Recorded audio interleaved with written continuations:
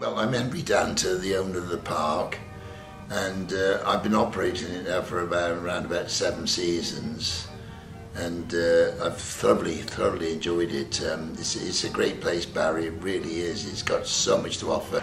I had a great feeling and love for Barry from a very young boy. I used to come here just after the war with my mother and father.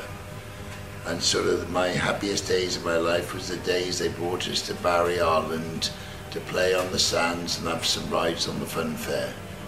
It was so good that when we was leaving, it was a sad moment. And sort of when we was going, they said, oh, it's time to go. We sort of, and I'd say to my mum and dad, well, when are you going to bring us back? I love this place. And my mother said, I love it too. It's my favourite place. And, but all my family weren't convinced at the time. My daughter, Kimberly, she said, Dad, I think you're going to bite off more than you should. This place is rough. And I said, well, I'm going to die trying, but I'm going to do my best with it because I think this place deserves better than what's getting at the moment. I'm Harry Danter, my dad's Henry Danter. We've been um, doing this, been in Barry for about four or five years now.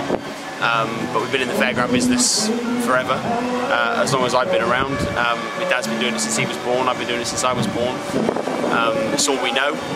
Um, we're good at a lot of things, but um, this is this is our passion. This is what we do. Most people they get up in the morning and they are supposed to do the same thing every day, but for us it's like it's kind of like dream and come true. You know? Every year we've been here, the business has just got better, and it's just made people happy, and that's my greatest reward. This is probably the most generous place in Wales where you can go on the Barry Eye and it can cost you less than three pound most places seven, eight or ten. We're a family business.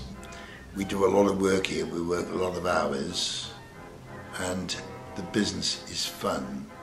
So it's not so much work as an hobby. Hi, I'm Callum. I'm a ride operator and I love it here and there's a really good community between the staff and customers. In the years we've had it, it's just got stronger and stronger and the people that visit it, they can sense it, they can feel it they can feel love because it's in the air. It went, it went, it went downhill for a while, didn't it? But now it's picked back up. So we've got family connections down here. Yeah. So it's special memories for us yes. who's passed away. It's, I would say, it's a passion and love for what we got for it. And I was very fortunate when I was born. I was born in the business like I loved from a very early age. So to me, it's not going to work. It's just having fun. And I feel from an early age I must have got, I feel like I married Barry Island and I still feel now I'm on honeymoon with it. We're just having a new ride now, the latest ride we're having, that's over three million pound. We're not competing just with England, Wales, Ireland and Scotland, we're competing with the world now. It's, it's the number one ride and there's only one other ride in the world like it. And to have one is such a privilege. We made that possible. For our dedication and love for the business and what we do.